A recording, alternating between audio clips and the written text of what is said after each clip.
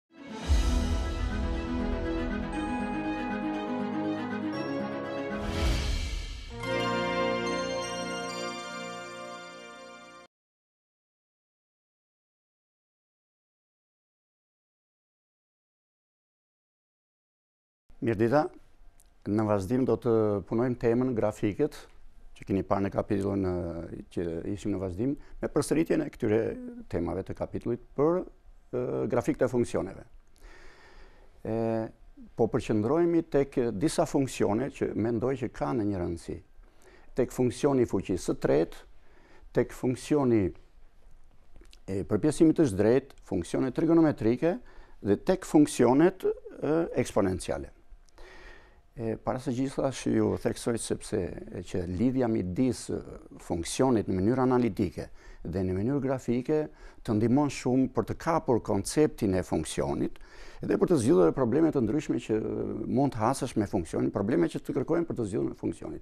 Prandaj një interpretim gjeometrik i funksionit është një rëndësi e veçantë dhe theksoj që duhet të kushtojmë kujdes paraqitjes grafike të funksionit dhe transformimet e ndryshme që mund t'i bëjmë funksionit.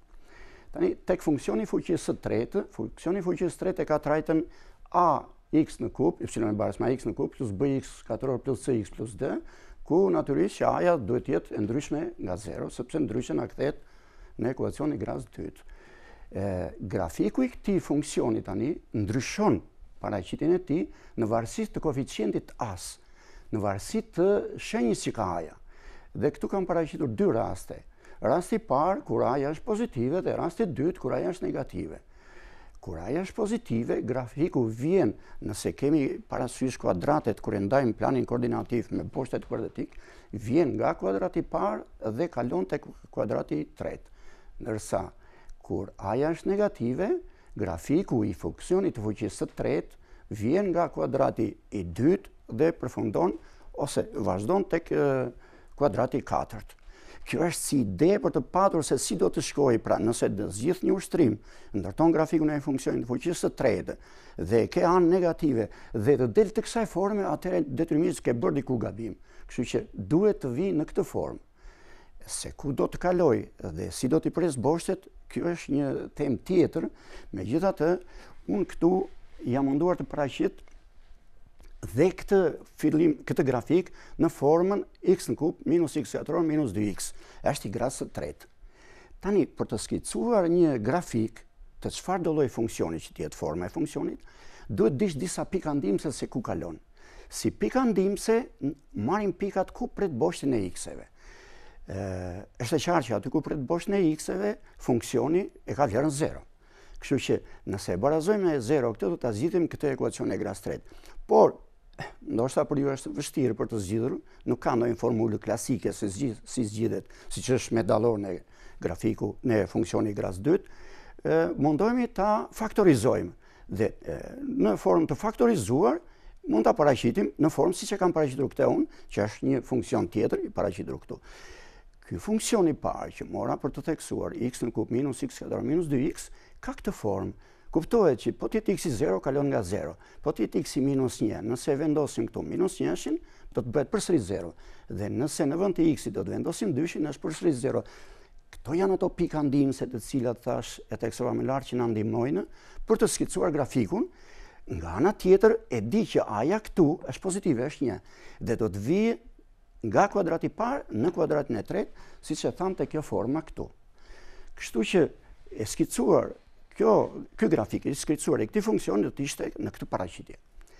Një grafik tjetër, kemi marrë në formë ushtrimi, është të paraqitet grafikisht, ose të skicohet, grafiku i këtij funksionit. Natyrisht, ky funksion, siç është paraqitur këtu, të ndihmon, është më i lehtë për të gjetur pika ndihmëse se ku do të kalojë. grafiku. Si pika ndihmëse, ne gjejmë aty ku e pret boshtin e x-eve dhe barazohet me 0 y-i, aty ku y-i bëhet 0, do të thotë që secili nga këta faktorët këtu, se e kemi të faktorizuar, e kemi paraqitur në trajtë të faktorizuar, do të, do duhet barazohet me 0. Barazimi me 0 i secilit na jep tre rrënjët, minus njëshin për të parën, njëshin për të dytin dhe dyshin për faktorin e tretë. Gjithsesi të tre këto pikat këtu, Të treja këto pikat, një, dy, minus një, minus, minus një zero, një zero, dy zero, janë pikat ku grafiku do të kalojë. Ndërsa, sjelljen e tij nga do vijë, nga cili kuadrat dhe ku do të shkojë, na i përcakton shenja e a-së. Meqë a-ja është negative, do vijë nga kuadrati i 2 për të kaluar në kuadratin e 4. Kështu që me një skicim të thjeshtë, ne ta bëjmë duke bashkuar këto pika, dhe kjo pika këtu, të cilën duhet ta theksojmë, që na ndihmon për të paraqitur grafikun. Si është kjo pikë këtu? Kjo pikë këtu është në boshtin e ipsiloneve. Në boshtin e ipsiloneve dihet që x-et janë 0. Abshisat janë 0 në boshtin e ipsilon. Atëherë nëse zëvendësojmë në vend të x-eve 0 këtu, do të kishim 1 herë minus 1 herë minus 2, 2 herë minus 1 minus 2. Minus 2 është kjo pika këtu. 0 minus 2. Kjo është dhe një pikë tjetër ndihmëse që na ndihmon për të skicuar grafikun. Kurse tek grafiku i proporcional i përpjesimit të zhdrejtë, ai ka trajtën y-i baras me k nën x. Këtu kuptohet që x-i s'duhet të jetë 0, se s'ka kuptim pjesëtimi me 0, po dhe k-ja s'duhet të jetë 0. Në varësi të k-së, kjo merr forma të ndryshme. Përpjesimi i zhdrejtë, grafiku i tij emërtohet dhe ndryshe hiperbolë. Nëse k-ja është pozitiv, hiperbola ka dy degë që janë në kuadrantin e parë dhe në kuadrantin e tretë. Ndërsa nëse k-ja është negative, janë në kuadrantin e dytë dhe në kuadrantin e parë. Sidoqoftë, sido që të jetë k-ja, po të shikojmë këtu kemi një simetri. Mendoni çfarë simetrie dhe ku është boshti i simetrisë, ose qendra e simetrisë, nëse mendoni që ka një qendër simetrie. Grafiku i tretë që kemi marrë për të paraqitur është funksionet trigonometrike. Funksione, si funksione trigonometrike kemi marrë dy funksione, sinus x dhe kosinus x. Theksojmë që sinus x dhe kosinus x në vlerë absolute nuk e kalojnë njëshin, prandaj përfshihen midis minus njëshit dhe njëshit. Këto janë kufijtë e poshtëm dhe të sipërm të vlerave të këtyre funksioneve trigonometrike.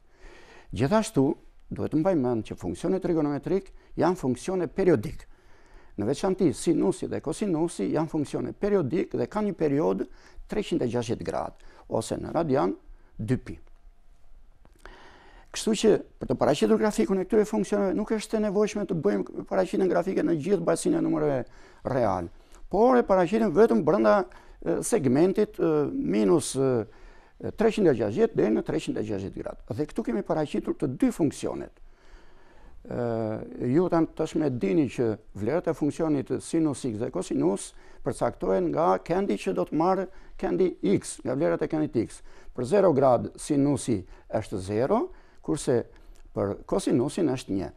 Me vijën me ngjyrë blu kam paraqitur funksionin kosinus x, ndërsa me të bardhë kemi paraqitur funksionin sinus x. Ky është grafiku i këtyre dy funksioneve, sinusoida dhe kosinusoida.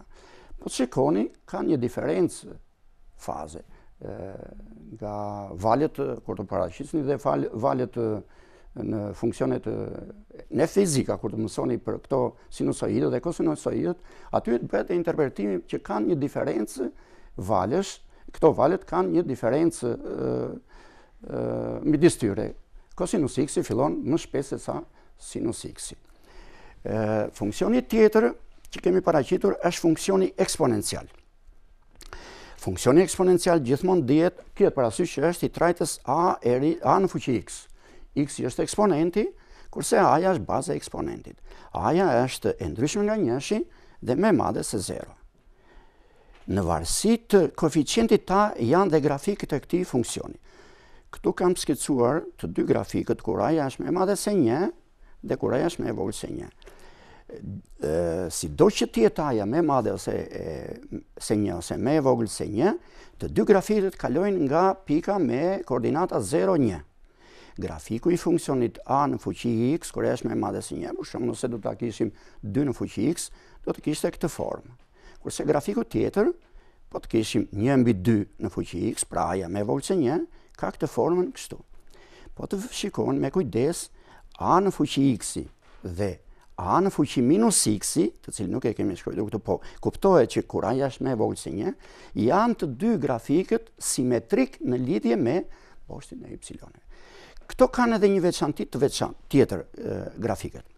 Po të shikojmë për shembull ypsilonin A në fuqi X. Për vlera shumë shumë të vogla të X-it, vlerat e Y-it i afrohen zeros, por nuk bëhen zero. Me fjalë të tjera, grafiku i funksionit A në fuqi X, kur X-i është shumë shumë i vogël, i afrohet boshtit të X-eve, por nuk e takon. Në këtë rast, kemi të bëjmë me asimtodat, nëse ju kujtohet, dhe këtu është asimtoda horizontale e këtij funksioni që është boshti i x-it. Ndërsa për vlera të mëdha të x-it, vlerat e funksionit rriten pambarimisht. Dhe për funksionin a në fuqi x kur aja është më e vogël se një. Grafiku i funksionit përsëri kalon nga pika 0-1 dhe ka si, si asimtodë horizontale boshtin e x-eve.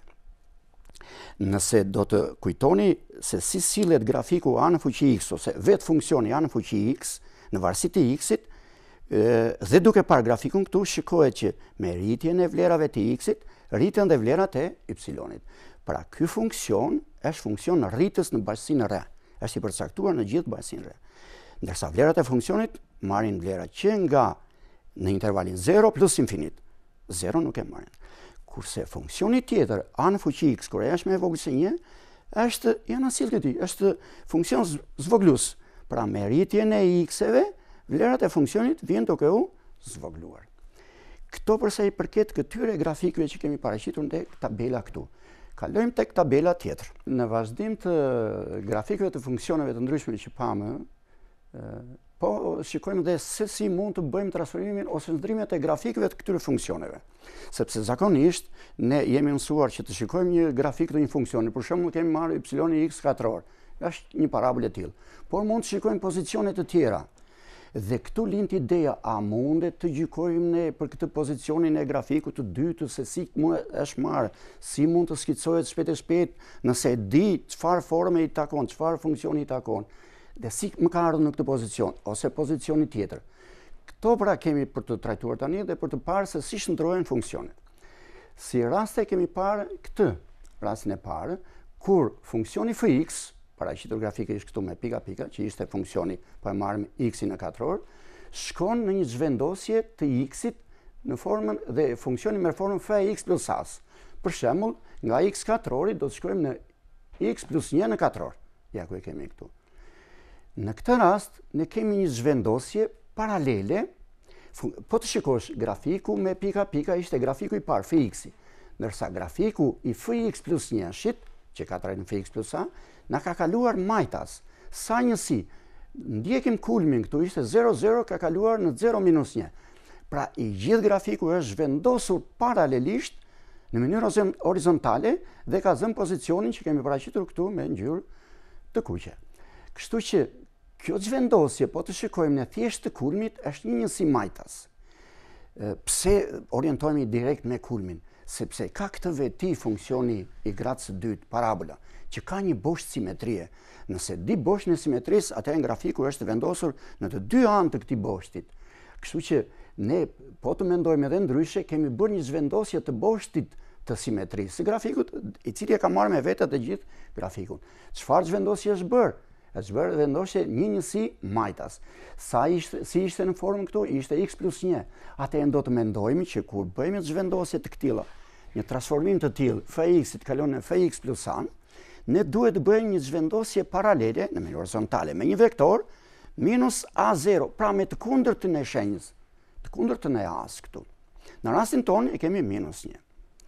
Rast tjetër që kemi paraqitur, është transformimi i funksionit fx në minus fx.